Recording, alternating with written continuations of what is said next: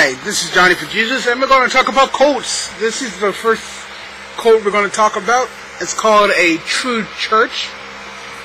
Uh, founder was Doran Fish. Ah, very funny. Uh, membership is approximately 50 people. Origin was in nine, approximately 1993, and was founded in Moody's, Oklahoma. Their practices are standing out in front of various Christian churches with signs condemning that church as a false church, writing against various teachers such as John MacArthur and Billy Graham.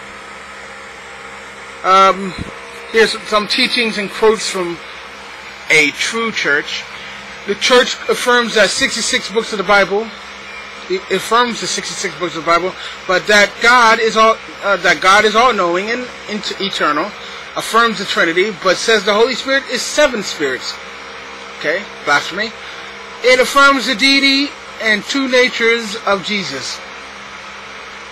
Okay, in order to properly represent the church, following are the list of quotes and statements from the group. Of being saved, coming to the knowledge of the truth. Okay, stupid. Uh, Jesus is the only one who gives knowledge to take it takes to be saved. That knowledge is faith in His Word. His blood is only applied to those who have their knowledge, this knowledge. Okay. They state that God is plural as God the Father. Jesus, the Son of God, is both divine and human, and the personhood of the Holy Spirit. However, they state that the Holy Spirit is plural, in which he is, as God is plural in who He is, describes that this one Holy Spirit is to be seven spirits. Blasphemy, as I said before. Contrary to popular opinion within the false Christian world, second you can look at up in 2 Timothy 3 1 to 5 and 4 through 3. God the Father is a man, as, a, as in Exodus 15.3 plainly declares, Scripture teaches that the Son of God is man, both before the incarnation and after. Man looks like God. Uh, you can find that in 1 Corinthians 11:7. For the Lord Himself is a man, and e.g. Genesis 32:22 to 30. Actually, two men. They believe. John, you can find that in 8, John 8, 17, 18, where they get that that, that blasphemy from.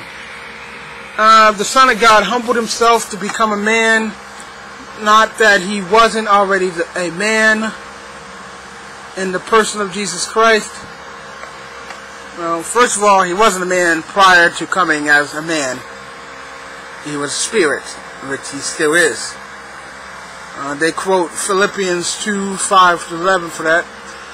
The church is the body of all believers. It's not particularly a congregation, but it's comprised of members worldwide.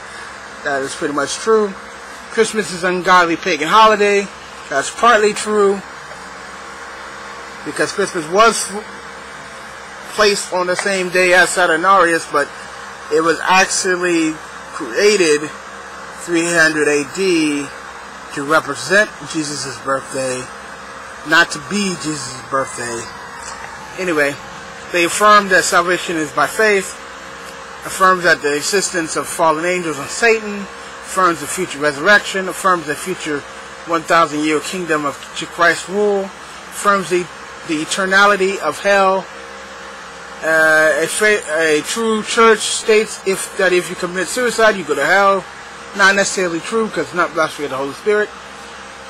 And if you were saved and you had given yourself to the Lord, they would be wrong on that stance. A true church condemns many as false teachers. Some of those more notable are Jack Hayford, Bill Bright, founder of Campus Crusade for Christ, and John MacArthur of Grace, GraceChurch.org, John Wimber of Vineyard Churches, and Billy Graham. They say if you are involved in the kind of Christianity that views the Church of Christ or Billy Graham or Rick Warren or Joel Osteen or jo- James Dobson or Pat Robertson or John MacArthur or Tony Evans or, or Greg Laurie or Charles Stanley or Chuck Smith or Fred Price or Vernon McGee or Charles Blake, or Charles uh, Chuck Swindoll, or Gene Scott, or Harold Camping, or Family Radio, or John Mc, uh, John Piper, or T.D. Jakes, or David Jeremy, or Charles Spurgeon. What? Stupid.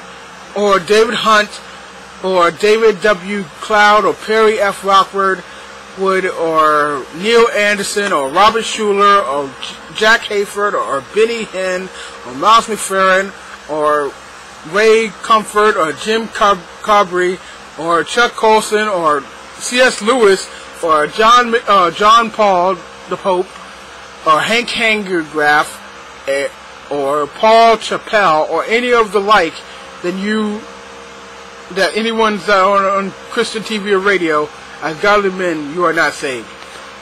They cannot sit here and say that you are not saved because they do not know what's in the man's heart.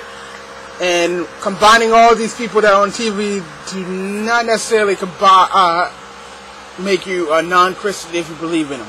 Now, stone prosperity gospel people with regular preachers is laughable because it's like saying everybody on TV is evil and not preacher of God, which I would find stupid because I've never found anything wrong with C.S. Lewis, Charles Spurgeon, John Piper, John MacArthur.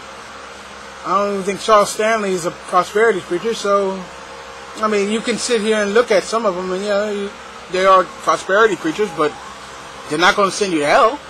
They're just going to take your money, and they're probably not a true preacher of God. Anyway, if this is a biblical analyst of the, the super church. A true church exhibits harsh judgment on just about everyone who does not agree precisely with their interpretation of Scripture, which has numerous problems.